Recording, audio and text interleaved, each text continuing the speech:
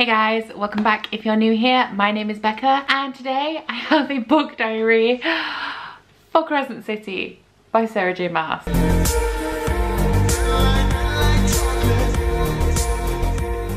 So it has been a hot minute since I have done a book diary. I just, I really fell behind on posting them and then I just, I couldn't, I couldn't go back and edit them all. So who knows what the future of book diaries from me are. But today is a special occasion. This is a special book diary because this is my most anticipated release of 2020 and I somehow managed to get an advanced review copy of it. So when you're watching this, the book will already be out and available, but I am filming this in January. This official book name is not Crescent City, it is House of Earth and Blood and this is the first book in a series called Crescent City. It is Sarah J Maas's first official adult book and I'm excited but I'm nervous and I'm scared. I'm not even really too sure what the plot of this is about. I just know that it is an urban fantasy and we follow a girl who lives in a world where there's fae, shapeshifters, angels, and also there's mention of a demon in the synopsis as well. So I'm not sure what to expect from this. It seems a little shadow huntery, which I'm nervous about. I don't love urban fantasy. It's not my favorite type of fantasy at all. I much prefer like historical fantasy. So I'm, I'm a little bit nervous about that because because this is her first adult book, I'm wondering if it's actually going to be any different than her previous books or whether it's just that this has actually been placed in the accurate age category instead of being put in young adult when it shouldn't be. My expectations of this is that I love it. I think there's going to be a really compelling romance because that's what Sarah J Maas is good at. I'm scared because this is only the first book in a series and she does have a habit of making you fall in love with a character and then switching the love interests around so I'm nervous that I'm going to become attached to somebody who isn't going to be around for a very long time but yeah, I'm gonna start reading this book. There is probably going to be spoilers in this, so if you have not read this book, then I would advise that you do not watch this video. I will be posting or have already posted a non-spoiler review of this, so if that, I, I don't know, I'm filming this so far in advance, I don't know what's happening, but if that is available, I'll link it up here. So if you haven't read this and you want to know my thoughts, then I recommend that you go and watch that video. But for those of you guys who are hardcore Maas stands like me and have probably binge read this book as soon as you got your hands on it, This video is for you. Let's get into it. I'm excited and I'm scared. Hey guys, so I have already fucked up this book diary because I am on page 275 of this book and I haven't told you a goddamn thing. So we're gonna try and do a recap here because I know that you guys are gonna wanna see this video. I considered scrapping it, but I, I need to get my shit together. We still have over 500 pages of this book left. I have plenty of things that I will still need to react to and tell you. So I'm just gonna try and recap what I've read so far, which is going to be a hot mess. But aside from what's been going on with the romance and stuff in there, the reactions I would say have not been that extreme. So it's not like you've missed anything crazy. So first off, what this book is about. This book follows Bryce Quinlan, who is a sassy half fae party girl in a world or specifically a city called Crescent City that is ruled by supernatural creatures, all manner of supernatural creatures. We have fae, werewolves, vampires, viper queens, queens, whatever. I think she's just a shifter actually. Then we have like dragonish people, chimera, sprites, all sorts of stuff. Her best friend, essentially her found sister, is a wolf shifter called Danica. Now, a few years before the story starts, Danica busts this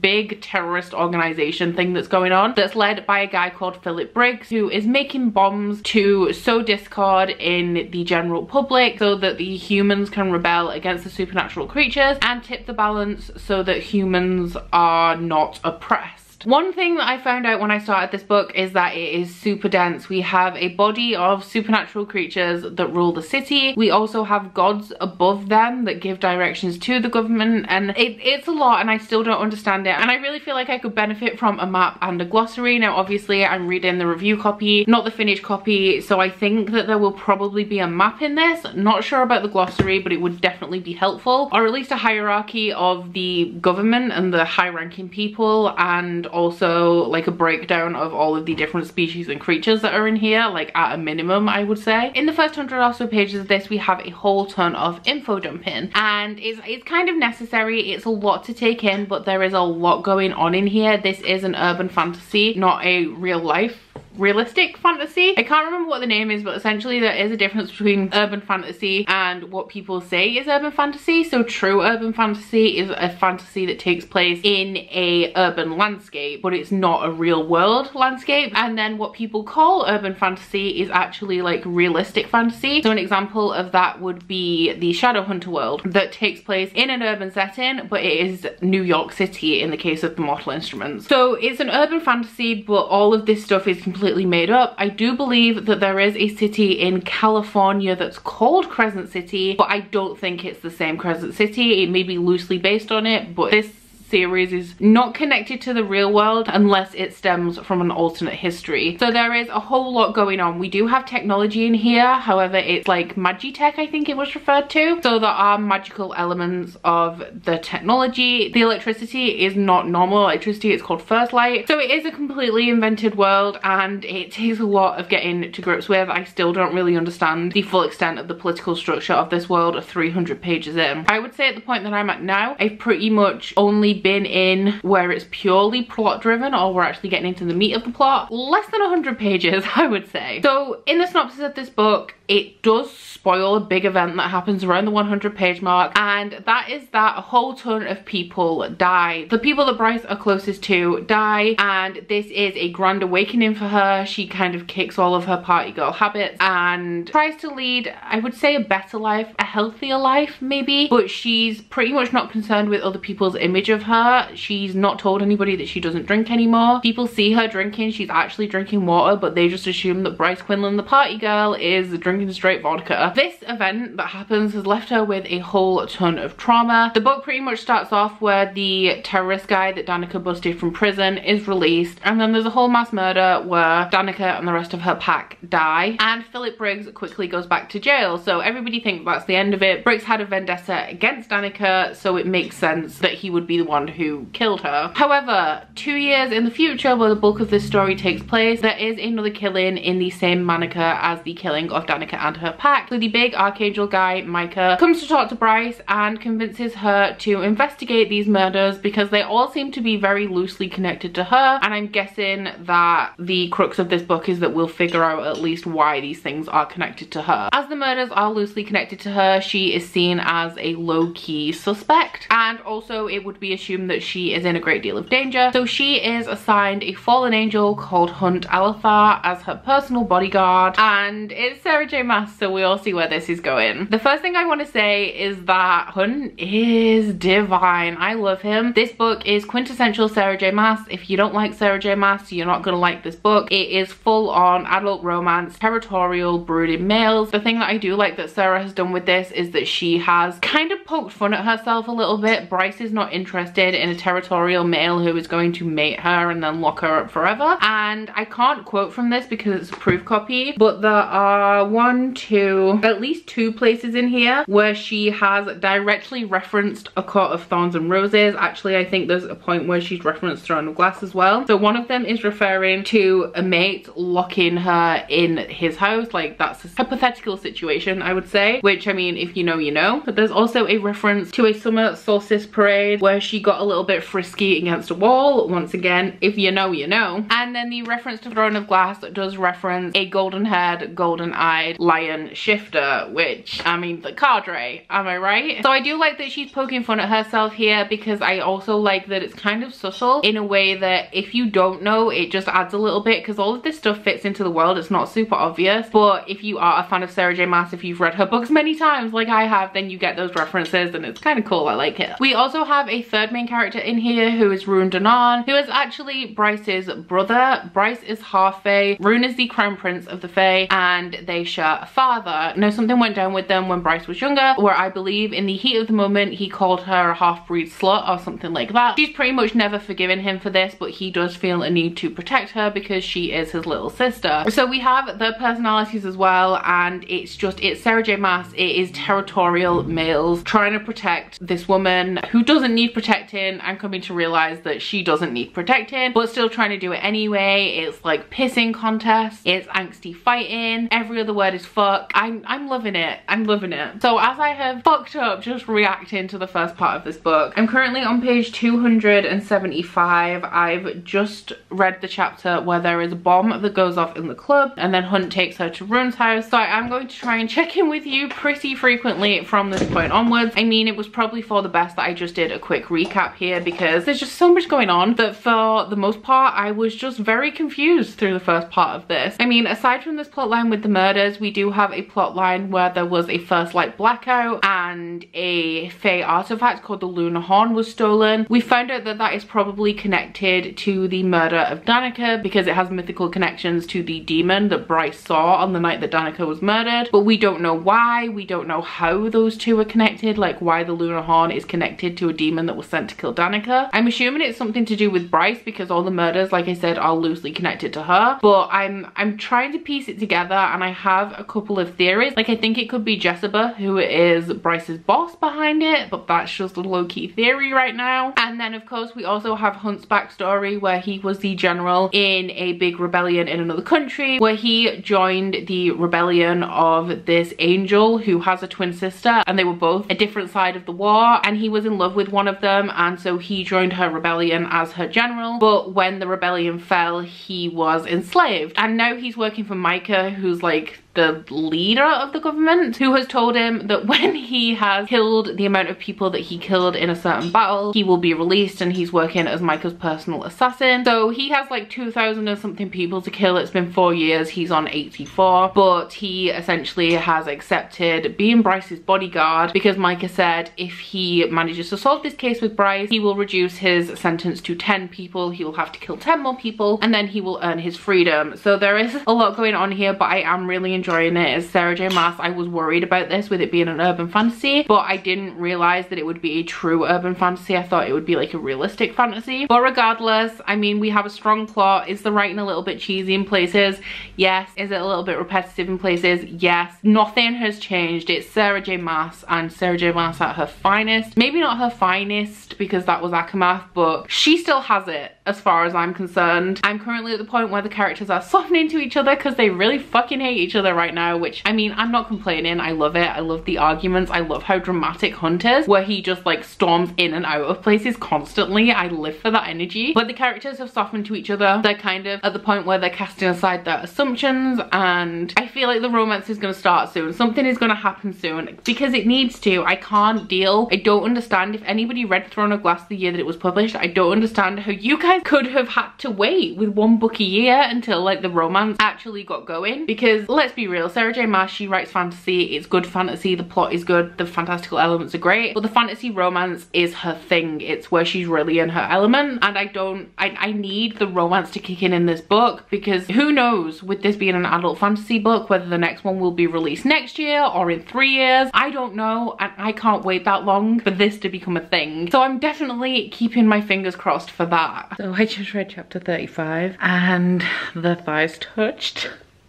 The thing about Sarah J Maas is that she's so good at like the slow burn and like you just see the characters like slowly, so painfully slowly softening towards each other and then like their thighs touched and I'm I'm, I'm almost sweating. But I really fucking hope I'm on page 348. I'm just about to start chapter 36 and if something doesn't happen soon, I don't know what I'm gonna do because like just the sexual tension is building and building and building and if they don't explode soon, I'm definitely going to. Uh, sorry, but the way that fuck, the way that she's handling this gun in the shooting range is making me question my sexuality. I mean like I'm not 100% straight anyway to start off with, but definitely always been more interested in the men in Sarah J Maas books. I just feeling some type of way right now. You'll you'll know if you're watching this, you should have read it. But the way it's described that she's handling that gun from Hunt's perspective as he's watching it, I'm just like, ugh.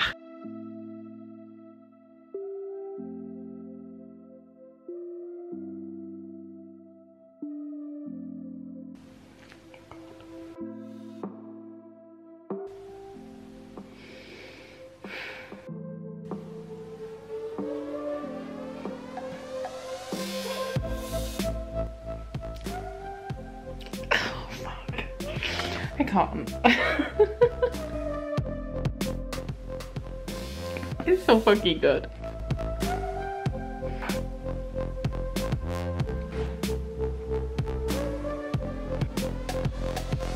So I just read a chapter where Bryce and Hunt go to the wolf's den to question Sabine on Danica's whereabouts and whether she was in fact stationed at the Lunar Temple at the time that it was stolen. And that chapter was so hard to read. Like there's a lot of slut shaming in this book. It's not unjustified, I would say. Obviously, I don't condone the slut shaming, but it's not done in a way to make the reader believe that sluts are bad. Bryce very much has ownership over her body and doesn't see the problem with being a slut, which is fair. That's her own business, what she does. And the behavior of the pack is they are painted as antagonists anyway, but that was fucking hard to read. And I think that this is just what Sarah J Maas is good at. I've been thinking about the romance a lot in this and what she does that's really effective is that she builds it so slowly that every single touch and every single word gives you that anticipation. So when the romance actually does happen, it's just that damn good. But I'm halfway through this book now. I'm on page 425 and I care about these characters so much. I'm only halfway through and I already just want to go back to the beginning and reread this and experience it all over again because I don't want this to be over.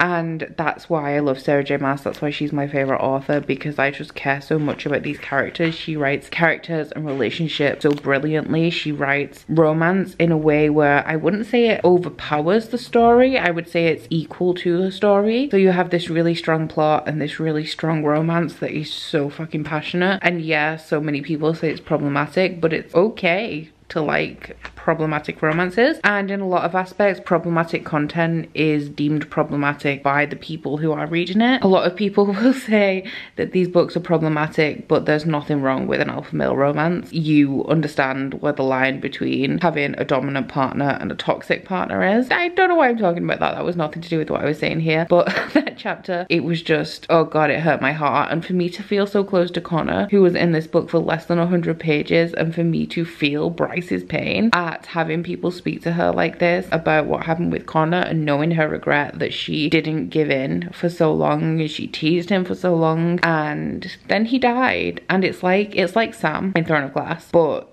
it's different because I feel like even though we only saw Connor for 100 pages that 100 pages was so much more charged than the novellas in Assassin's Blade. But it's the same it's the same kind of thing but I just I feel it in my heart and my heart feels heavy now having read that chapter so I'm hoping in the following chapter Hunt and Bryce have a little heart to heart because he has some fucked up shit going on with the woman that he was in love with and she has some fucked up shit going on with the fact of what happened with Connor and they're both so tortured and tragic and they have so sexual chemistry and I'm really excited to see how that's gonna play out because something has to happen soon. I am dying over here. I am, I'm dying and I'm thirsty and I need something to fucking follow through. I just read the delicious two page spread that is chapter 47 and I swear to fucking god if one more thing interrupts a romantic scene in this book I am going to riot. Like they, they almost something almost happened and then the chrysalis attacked hunt and then you know all that's past he's so grateful to be alive she's so grateful that he's alive they almost kiss again there's a little bit of touching and fucking sabine walks through the door i'm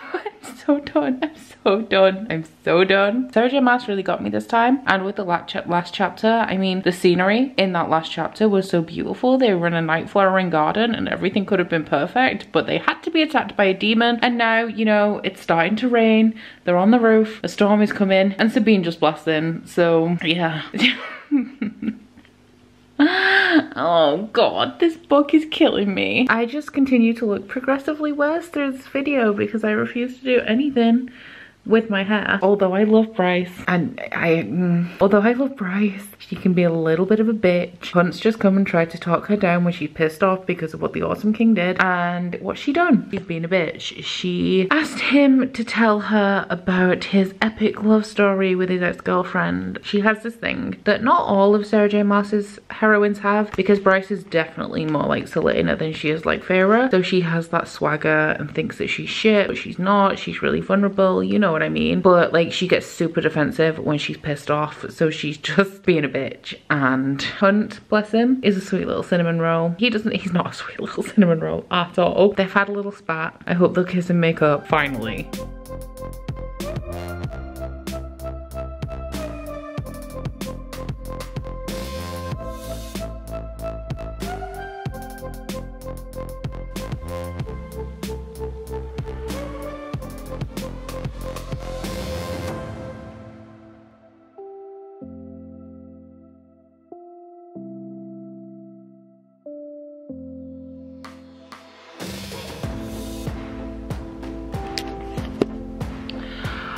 My god. I just read the chapter where Hunt comes back after he has killed whoever he was sent to kill and he goes straight back to Bryce's apartment instead of going back to the barracks and gets in the shower and turns it really hot and essentially just burns himself raw and like keeps healing because he's supernatural so he has accelerated healing. And Bryce goes in and she washes him and she dresses him and she puts him to bed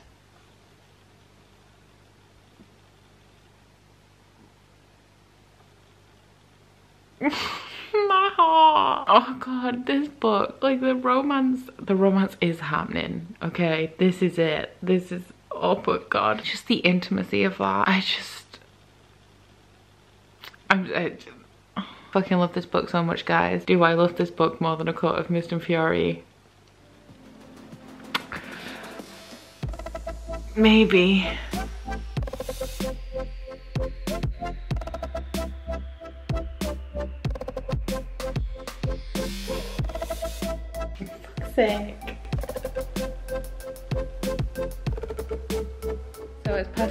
a.m. now and I'm on page 525 of this and I'm going to bed because I should. But I could very easily stay up all night and read this book. I am loving it so much, so much. And I'm also hating it because it's doing things to me that's really annoying. But I love it.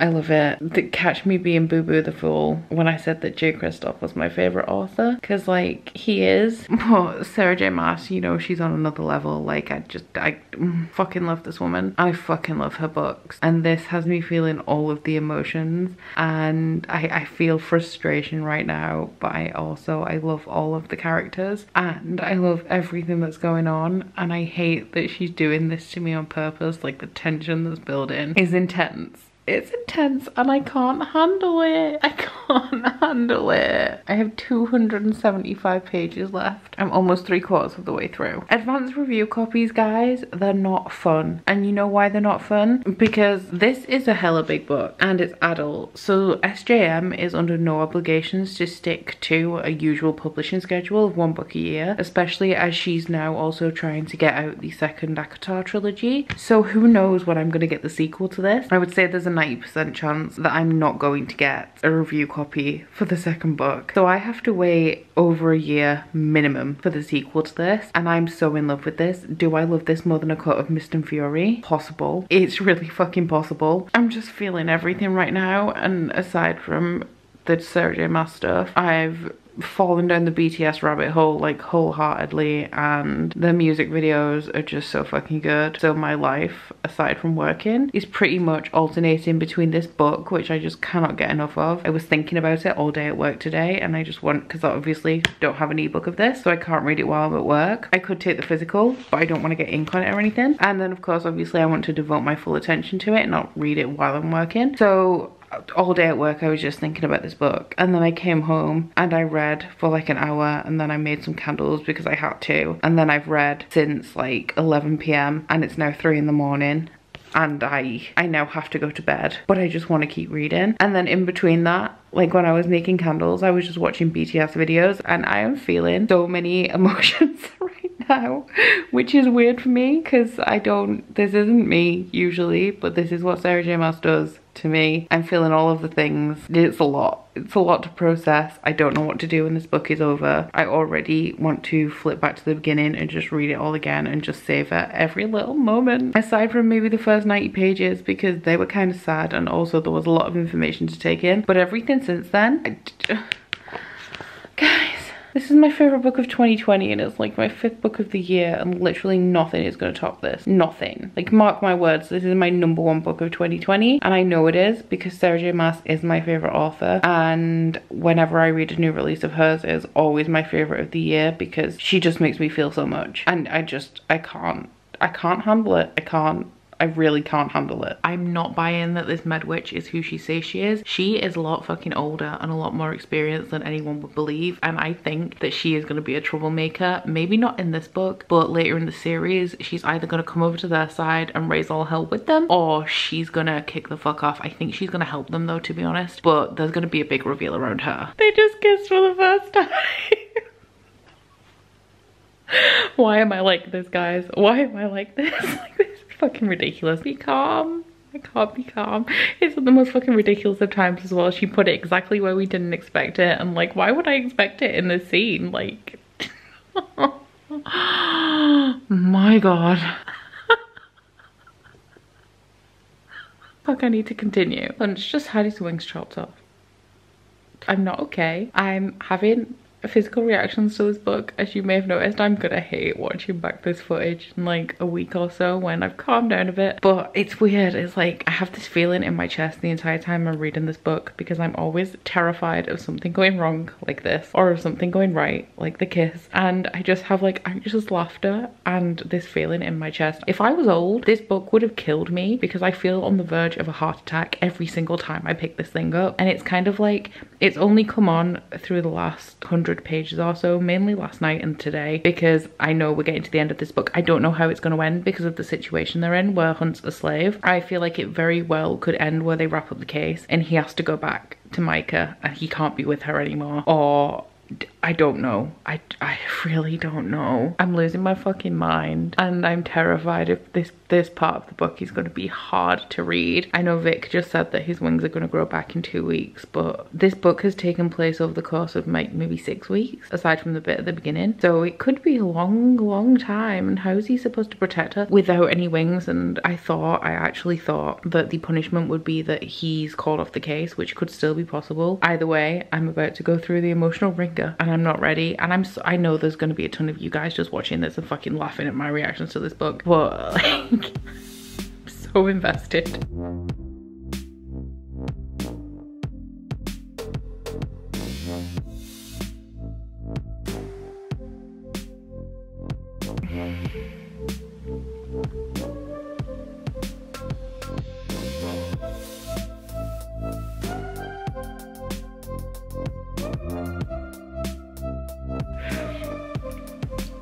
Oh my god. Oh my god.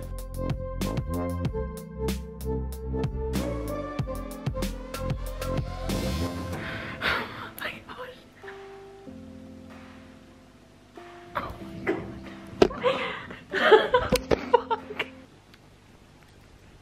I'm so happy right now. I'm so happy right now. Oh my god, my battery's gonna die.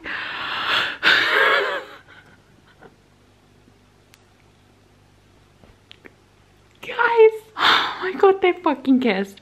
Finally, on page 591, we got our first real kiss. I don't think, I don't, I, oh fuck. I'm out, I need to go recover. I'm sorry, but how is Hunt the one buying the synth? There has to be a reasonable explanation for this. How?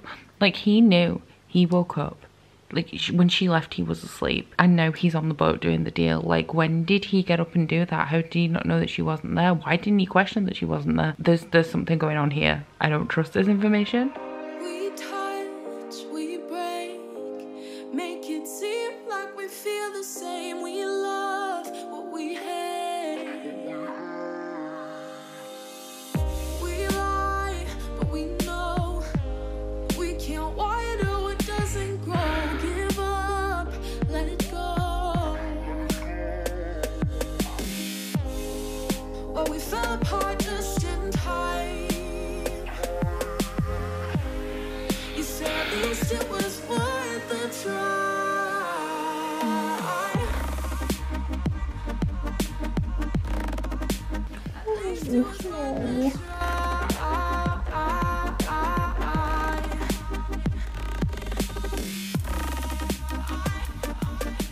Can you believe that I've gone? From how fucking happy I was like 20 minutes ago to this?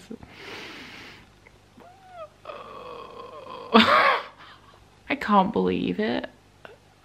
She can't. This can't be it. I said to Ashley the other day, I was I was doing something completely irrelevant, and I said, what if it's like every other Sarah J Maas series where where she leads you to believe that this person is the person and it's never the person. And I couldn't handle it. And I couldn't and I, and I knew that this was gonna happen. I'm gonna fucking hate myself reviewing this footage. But I I knew this was gonna happen. But it can't it can't please. On can't have been like this all this time. She can't leave it like this. She has to forgive him. He's she has to go and save him I'm really going through it guys and I'm three pages away from part four and I'm gonna leave it there for the night because it is 5 a.m. I'm not gonna be able to sleep. I swear to God, I'm not gonna be able to sleep. Oh shit. I just got to the end of part three and they've got Hunt locked up. And Bryce has heard them. Is she gonna go give him hell? I gotta go to bed now guys. It's like, it's past five. I don't know what to do. I don't know, I don't know what to do. This book is fucking killing me. I can't live like this. Hey, just in case I need to provide a timeline for this video, it is the following morning. I have had very little sleep. My sleep was very disturbed because I, I slept really lightly and anytime I was thinking about anything, I, like I was thinking about this book. So I had like probably around four hours, which is sufficient. I'll get by on that. But I've, I, I've, I've read like three chapters and she's gonna go save him. she's gonna go save him. I need to shower and I have some things to do today and I don't know what to do because I have enough of this book left that it would take me most of the day to finish it. But I have other stuff to do and I just, this book has consumed me. I can't just go about my day and not read. But I want to do it all in one go. So I don't know what to do. I'm really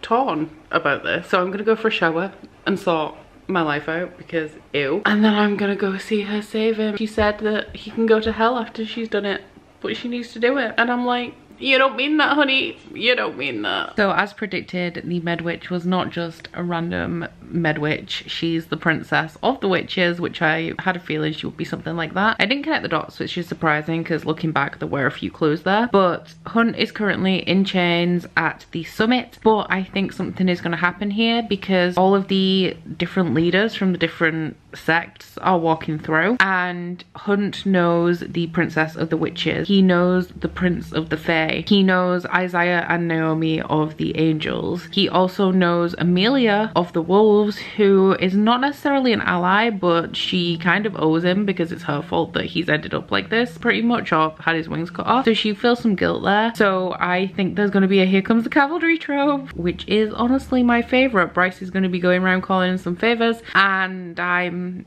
I'm excited. I only have 140 pages left and I'm sad about that. But at least I won't be living in a constant state of anxiety. That fucking bastard just threw Syrinx into the water with the Nox demon. Is that what it's called? The Knock. The Knock. oh, fuck. Like the revelations in that chapter. Like I know it did like the whole evil character does the speech that confesses, that confesses everything. But honestly i was fooled. I thought danika i thought danika had done it. I thought she was an addict. I thought i thought that bit was over. And i did think that it was weird that that kind of wrapped up and we moved on to something else because i thought that this would maybe be part of the second book and hunt would go back to micah and then she'd have to try and release him and it's happening now. And i thought that was strange but i'm still shocked. I'm shook I'm shocked and shook. I have 109 pages left. God, something good needs to happen soon because I am so on edge. Something that I do feel is a nice touch and I'm really enjoying is that Bryce is using books as weapons in the library and I just fucking love that. Like, hardcore. We appreciate. Lehabah has just sacrificed herself. I honestly did not see that coming. I thought that little tiny fire sprite would be like Endgame. And I shed a little tear, I can't lie. It seems like Bryce is gonna die from the synth, but she kept the little vial of antidote in the fridge and she just necked it as she's assembling the rifle and I fucking Bryce Quinlan is a badass. She is the most badass of all of Sarah J Maas's heroines. Yes, she's a lot like Celaena. Yes, she can be stubborn. Yes, she can be a bitch, but she's a fucking badass. Micah opened the gates to the city and all of the demons from the pit are just spilling out. But at the summit, everybody's kind of on the phone mobilizing forces and trying to get people in the right places. And I don't know what it is about this because it's not quite here comes the cavalry, but just loads of people coming together trying to do something amidst all this chaos is just really doing things to me. And I love that kind of trope. I don't know if it has name, but I'm really enjoying that right now. I'm hoping that Hunt's gonna get free at some point. I mean, the Witcher just removed his manacles, so maybe she can remove his halo as well. Because I'm just waiting for him to fly the fuck off and go and find Bryce and then create hell. Oh well, hell's already been created to restore order into the city, fighting back to back. Oh my god, it will be like, it will be like Yara and Daenerys in season 8 of Game of Thrones. Ooh.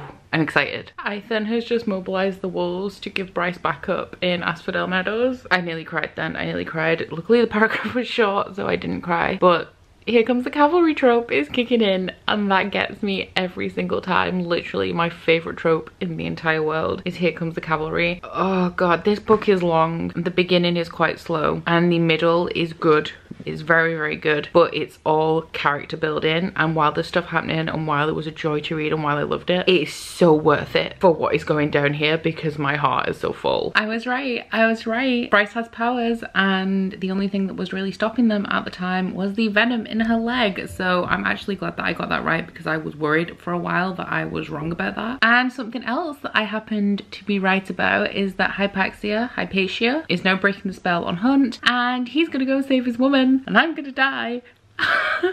so many feelings in this book. I tell you guys, I'm gonna die waiting for the next one. So it's finally time for me to bring you my final thoughts on this book, House of Earth and Blood. I'm gonna try and be brief about this because I have a feeling that this video is very long, but this is now my favorite book of all time. I gave this five out of five stars. I thought it was absolutely phenomenal. This book has the emotional impact of a final book in a series and this is just the first book. There are a couple of things that frustrated me with this. One, of course, being that there is no sex in this. She just completely did not give the readers what they wanted here. But the sexual tension in here, the sexual chemistry is literally fire. The ending of this where Hunt is released from slavery, it really got me in the feels. I'm interested in the sequel to this because she hasn't given us a sex scene and it is pretty damn clear that they are literally about to do it. So I feel like the sequel to this has to continue directly after this ends because I feel like having having that happen off page would be doing the readers a disservice. But the end of this pretty much changed all of my theories for the sequel. I have no idea what's going to happen. I think that Bryson Hunt are going to really struggle to keep her power under wraps. I feel like there's going to be a lot of power struggles between all of the parties in this book regarding Bryce's power. And I'm not sure what the future is for those two. I feel like they could be endgame because they are older characters than Sarah J Maas typically writes. So they've had all their time to fuck about. Hunt has already had one love of his life and he has now just found another. Bryce was a party girl. She lost Connor and she also has had a string of casual sex partners. So there is a possibility that Hunt and Bryce are endgame. But what I'm saying is that aside from Sam Cortland and Connor, who was only really in 100 pages of this book, Sarah J Maas has never killed a main love interest. Based on this book and the fact that she reused quite a few tropes, I mean, I didn't mind, but I could definitely see elements of her other series in this book. There is one, a possibility that she's going to reuse the trope of changing the love interest and two, that she's going to do her usual thing of not killing a love interest because it will hurt too much. But there is also a chance with this being adult that she's not going to pull any punches and Hunt could be no more. So those are my main fears going into the sequel. Plot wise, I'm not really sure where it's going because this book took me by surprise. I didn't expect half of the things in this. I'm really sad about a lot of things in this. Like I'm sad about Lehabah because I fucking loved her. But this this book really put me through the emotional ringer and that is why I love it so much. That is why my it's my favorite book. I love books with such high intensity. I can't believe the amount of emotion that was packed into this and that she made me feel so much. And yeah, just all around. So fucking glad that I read this. Thank thank you so much to Bloomsbury for giving me the opportunity to read this early as well. But that is about it for this Crescent City book diary. Please let me know your thoughts on the book. I know that my reactions in this video have been pretty damn extreme, but they are what they are. That that's what happened. That's how it be. So please let me know if you have read crescent city which i assume you have if you're watching this video. If not why the fuck did you watch this video? Please also don't forget to like this video if you like to and subscribe if you want to. If you head into my description box you'll find a link to my goodreads instagram and twitter if you'd like to follow me on any of those as well as a link to my bookish body butter and candle website the instagram for that and a 10 percent off discount code where you will find a brand new range of five Crescent City themed candles, which I have just launched. I'm filming this outro a little bit after the rest of the book diary, as you guys can probably tell if you're perceptive. But that is it from me today, guys, and I'll see you in my next video. Bye! Oh, you bite your friend like chocolate. You say you'll go nobody knows With guns hidden under our petticoats We're never gonna quit it, no, we're never gonna quit it, no